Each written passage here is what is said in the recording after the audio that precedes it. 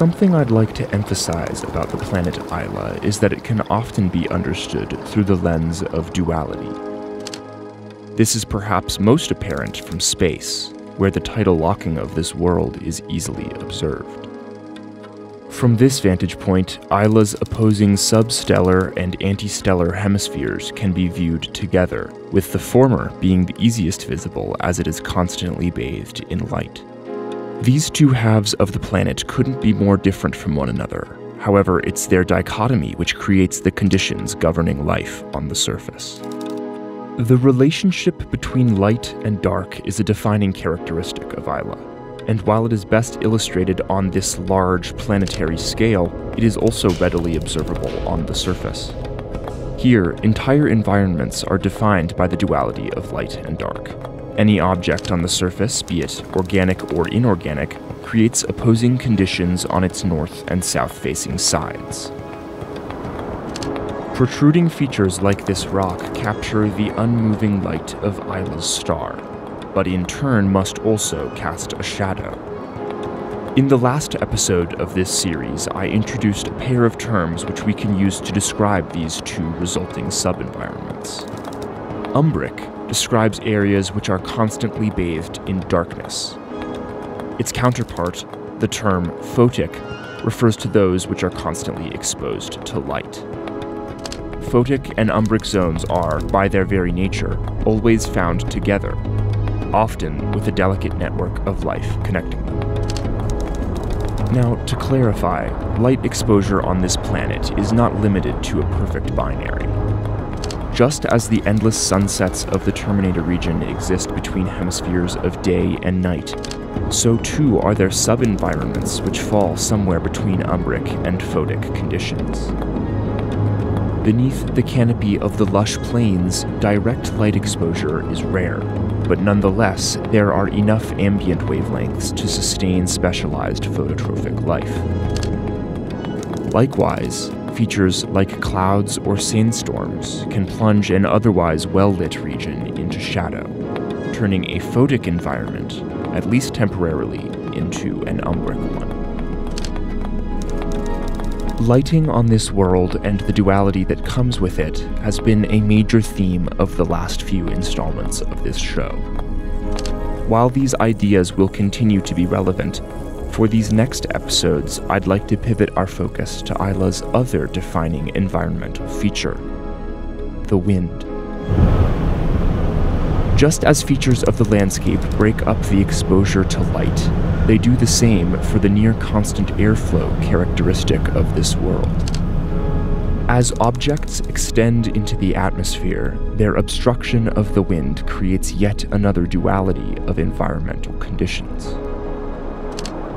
In this short episode of the series, let's continue to explore how rugosity on Isla's surface adds variability to its environments, and how new niches are created when the near constant wind of this world is redirected by the landscape. This is the Isla Project. So recently, a patron of the show reached out to commission a custom print from the project one inspired by NASA's popular space tourism posters. This is the resulting image, and it's been made available for print over on my website. I'm really happy with how this poster turned out, and it's also special because it's the first time I've ever depicted people in an environment of Isla. This isn't something I plan on doing often, since my goals with the project don't really concern any narrative of human exploration. Anyway, if you'd like to hang it on your wall, go check out oliverbutdigital.com. And if you'd like to further support the show, please consider becoming a patron as well. As one could imagine, volcanism on this world is responsible for all kinds of hazardous conditions. Flows of molten rock and eruptions of toxic gas are common, but there is another product of geothermal activity to watch for if one is traversing the surface of Isla. This is what is known as a pyroclast, or a fragment of volcanic debris which has been jettisoned into the sky. Specifically, this is magma, which rapidly cooled as it was propelled into the upper atmosphere. When pyroclasts enter the right air current, they can be carried for hundreds of kilometers by the planet's violent winds. While they can fly for extended periods of time, at one point or another, heavier pieces must eventually make landfall.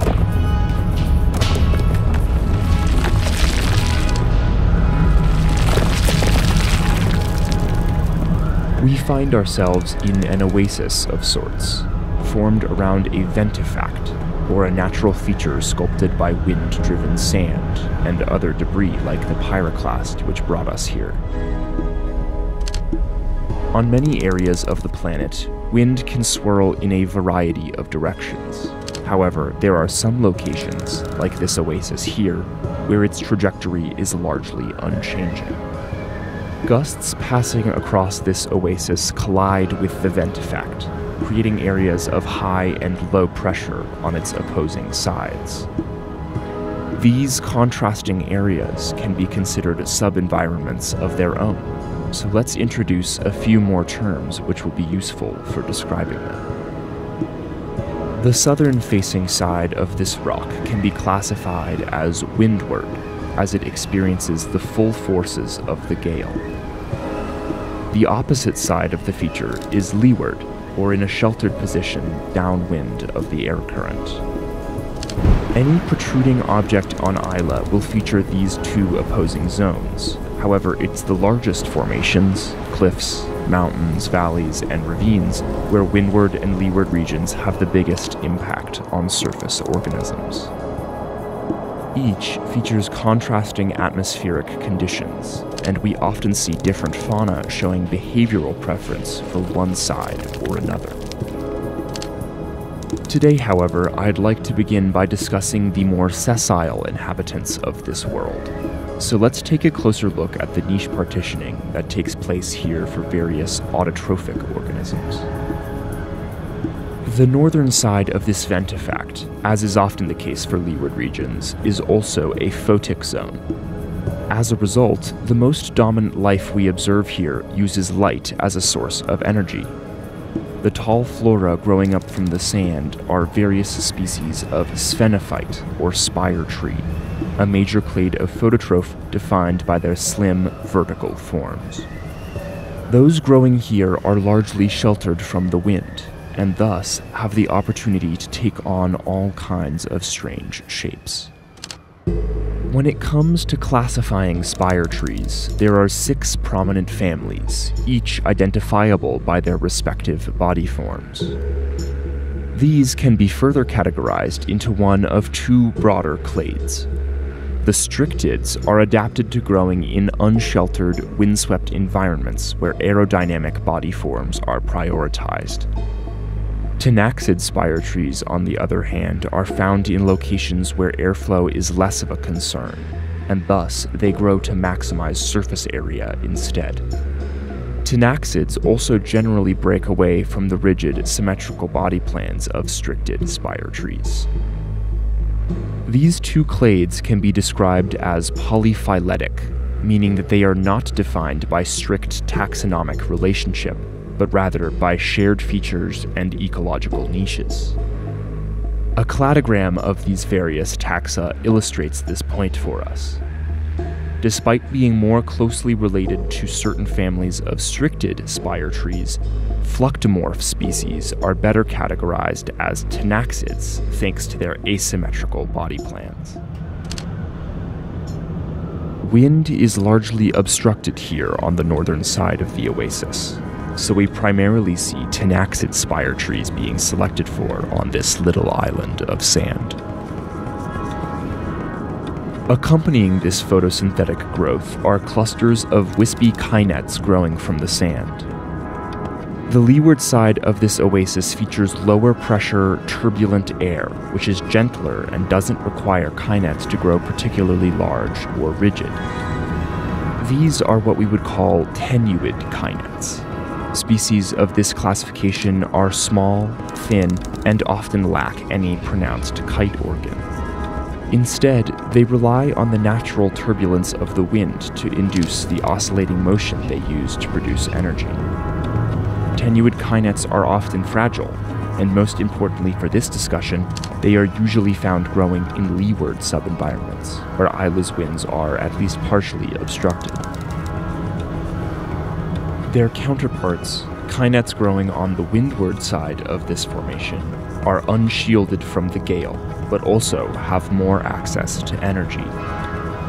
These kinets grow larger and better armored, since they are exposed to the flying sand and debris being carried through the atmosphere.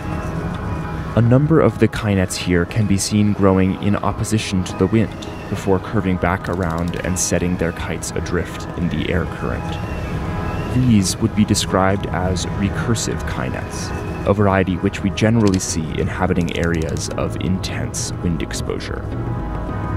Once again, this is a classification determined by morphology rather than any shared genetic lineage. Kinets with recursive forms can be found all across the planet and often exhibit the most exaggerated swaying motion as they harvest the kinetic energy of Isla's winds. We will be diving deeper into kinetosynthetic life soon, I promise. For now, though, I'll simply encourage you to observe how morphologies differ depending on where a kinet is growing and what wind exposure is like in that area. This side of the rock is also harboring faunal life. A pair of Zygoscapus giganteum have stopped to rest here, looking to cool themselves in the shadowed pool of water. While these migrating species are adapted to withstanding intense heat and radiation, umbric zones are always a welcome respite from the unrelenting energy of Isla's star.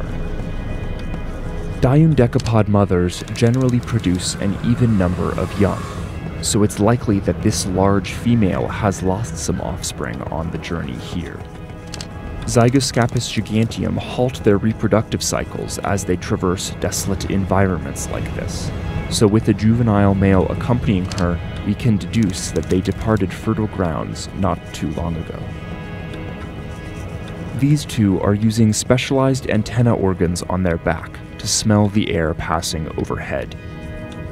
These appendages are used by many older clades of diundecapods for a range of purposes, but principally for olfaction. Perhaps the most stereotypical morphology of these antennae is found in Durcostrids, where a pair of tendrils protrude laterally from both sides of the abdomen. While these appendages appear separate, a look internally reveals that they are in fact both a part of the same bifurcated or branching organ. When observing distant relatives like Zygoscapus giganteum, we can see how this feature has changed over the course of evolution. In order to catch odorants higher in the air current, this organ emerges dorsally, with the bifurcation appearing external to the body. Using their large antenna, this species can sample the atmosphere for even the faintest of scents. We've caught the oasis here in a time of relative abundance, but it is nonetheless limited in what it can offer. The shallow pool of water will evaporate quickly, no doubt before the next rainstorm passes through to refill it. As the water vanishes, so too will its cooling effect on the area. When the day comes that this reservoir runs dry, many of the plants will start to wither, and even some of the kinets will die of thirst. Visiting faunal species will move on in search of nourishment elsewhere. The oasis will grow dormant, waiting for the next monsoon to come and revitalize it once again. This ventifact is not a feature unique to the Badlands. Formations like this can be found all across the planet, and we often see small ecosystems developing around them. On a world where much of the surface is sculpted smooth, small islands of rugosity break up the landscape and create opposing sub-environments within which life can diversify.